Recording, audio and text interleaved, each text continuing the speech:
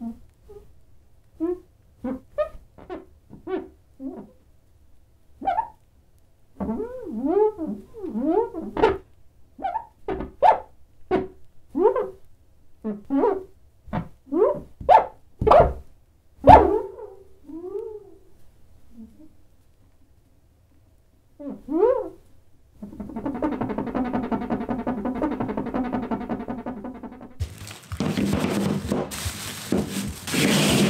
The challenge for this video is can I animate a bar of soap? A lot of people ask me how to get started in stop motion animation, and I always tell them the same thing, animate household objects. Something simple like a bar of soap, a shoe, a mug, anything, and see what kind of character you can create. So I can make this bar of soap look like a snake. I can make it look like a mouse. I can make it look like a frog. And the point is that I'm using motion to create a performance, to create character. If you can use motion to turn any object into any character, then you can be an animator. So I bought all these bars of soap and I need to figure out how to rig them up so that I can animate them standing, jumping. I'm also gonna put some wiggly eyes uh, on the soap to make it look like a little character. I have this ball and socket rig that I often use while animating small objects. This should work perfectly for the soap, so if the soap's like that, then the only trick is how do I get this rig to stick to the soap? I'm pretty limited in what I can do. Tape won't stick to it. I can't put a screw or anything into it. So I wanna see if I can embed um, a magnet in it that this rig will stick to. So I might drill a hole and put the magnet in. Hot glue might work, so let's just explore and see what we can do. I should mention that I'm using this red soap just because it'll pop really well off the green screen and then it'll probably look good in any setting that I put it in. Uh, I didn't want to use white soap in case I use like a white bathtub background or something. So this will be my test bar of soap. I'm just gonna drill anywhere and see what happens. Ooh, that went in really fast. okay, we're getting somewhere. So I think I'm just gonna fill this hole with glue, put the magnet in and just see what happens.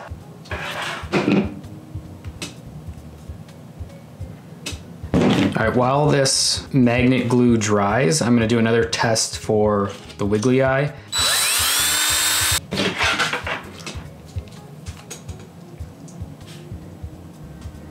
The glue behind the magnet seems to be hardened, so I'm gonna give it a test on the rig. So the magnet is staying in the soap. So I think this is a good solution. This really works. This eye is stuck on there. Same with this magnet. So this is how I've rigged up the soap. So from behind when the soap needs to, uh, you know, stand up or jump in the air, I can use this rig to support it. I'm going to make three of these soap puppets and one will have a magnet in the back here uh, one will have a magnet in the side here and one will have a magnet in the other side. And that's so I can animate two camera like this um, and then like this and like this. So to give me different options in case the soap spins around and I need to work with an edge and see the back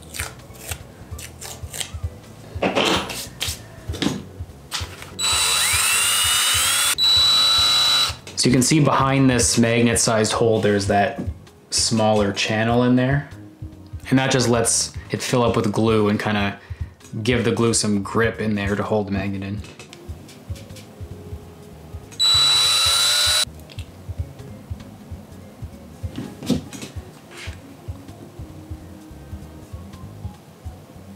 All right, there's the rigging magnets glued in. I'll put the eyes on pretty much like this. I'll use this rectangular design on the front to uh, center the eyes.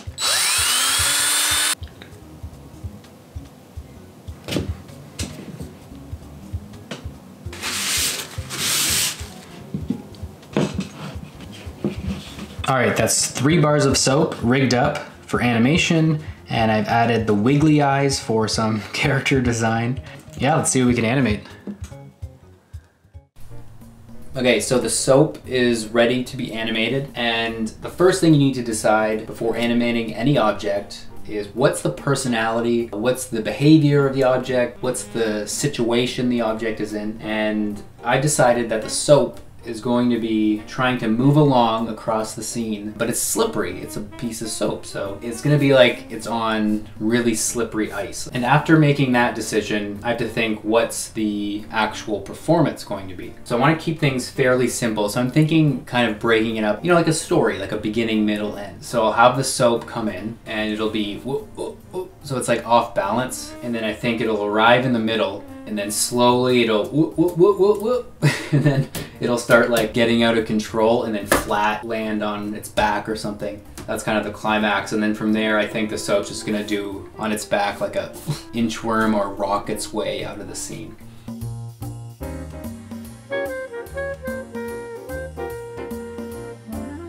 All right, I've just finished part one of this animation, so let's take a look.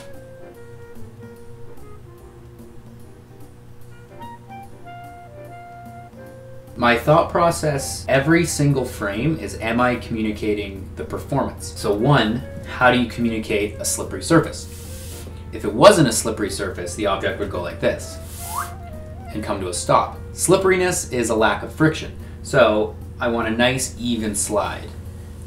So, when you're on ice, you just slip along not slowing down. The second part of this performance is the off balance. Someone who's trying to balance themselves on a slippery surface and you know falling forward, back, back, forward. Um, it's completely chaotic. So as I'm moving the soap along, I'm just kind of making stuff up. I'll go back a frame, forward, forward, back, hold it, back, forward, and kind of just making it up as I go along. That I think that adds more of a natural performance. If you try to plan out that chaos, it might look a little stiff. One more thing I can mention is that even in this beginning part of the shot, so if what I've done so far is the beginning, then this beginning has a beginning, middle, and end. Calm, let the audience catch on, it's a bar of soap. I'll get a little chaotic in the middle, and then at the end here I've calmed down, and then build into the next big thing. So even in this beginning, there's a beginning, middle, end.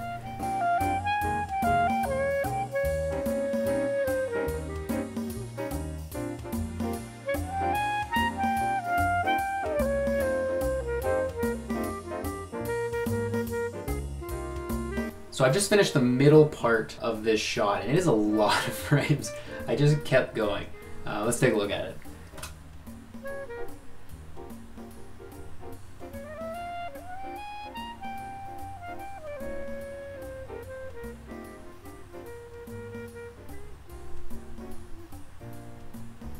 That's it. That's the fun, chaotic part of this animation. It looks like a bunch of nonsense and just random things happening, but there is a thought process to this. Um, and it's completely different from the first part, because the first part had a point A to point B, whereas this middle part is just a bunch of fun um, in the middle of the screen. But I still broke down this middle section into a beginning, middle, and end. So the beginning is that the soap is here, and I wanted to show off some footwork. So it does a little foot, foot, foot slide. And then the middle part is that I wanted to add some dimension to this shot. So I have the soap uh, do a bunch of poses and slipping, but do a 360 in the process. And that just gives a more dynamic performance um, rather than just facing the same way the whole time. And the third ending part to this middle part is that the soap then gets out of control and does the spin, spin, double spin, and then land and spin around on the ground.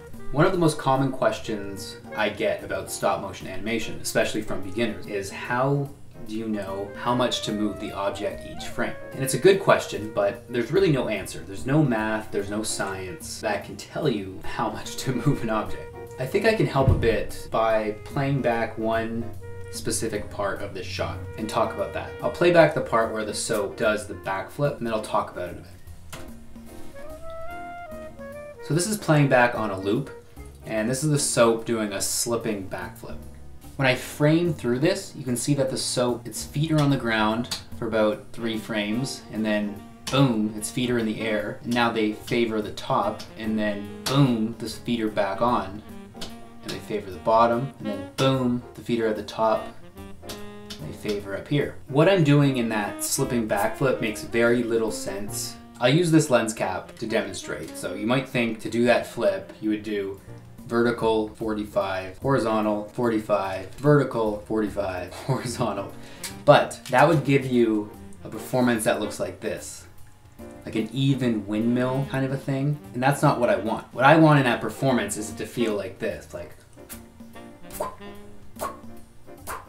So that's why I'm favoring, you know, the feet at the bottom and then the top and then the bottom and then the top. So in deciding how much the soap should move each frame, I'm not thinking what's the movement, I'm thinking how do I want it to feel. So that's why I'm doing smaller movements down here, big and then smaller, and then big and then smaller and then big and then smaller. Because I want that feel of slipping and then hanging in the air. So as you're animating, think how do I want this to feel? You're not focusing on the literal movement.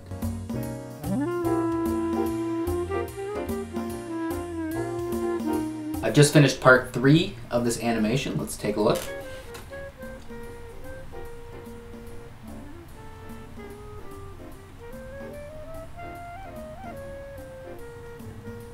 Looks pretty good. I might take that wiggle and speed it up quicker off screen just to give it a bit more humor. So in this third part of the animation, I've done the same thing where I kind of look at it with a beginning, a middle, and an end. And the beginning of this third part is that the soap anticipates and slides. Um, it's not enough to get across, so it just starts wiggling. That's the middle part, and the end is that it's gone.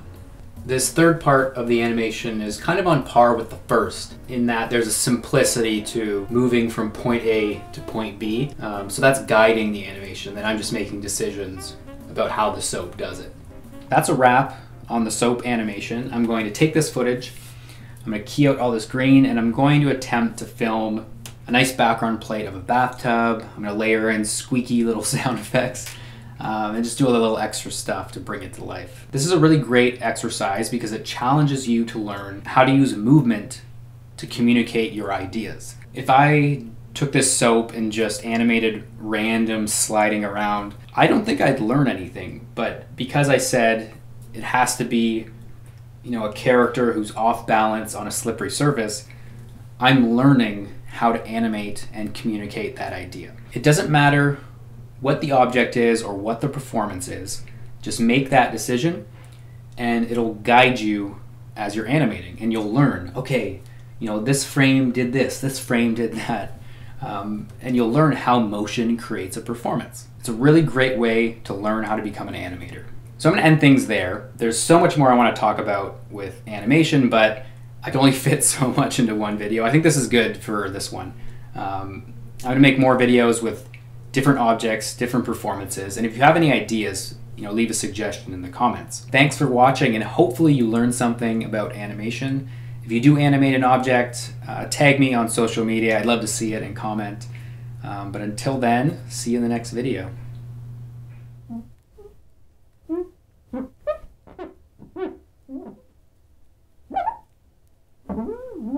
Mm-hmm.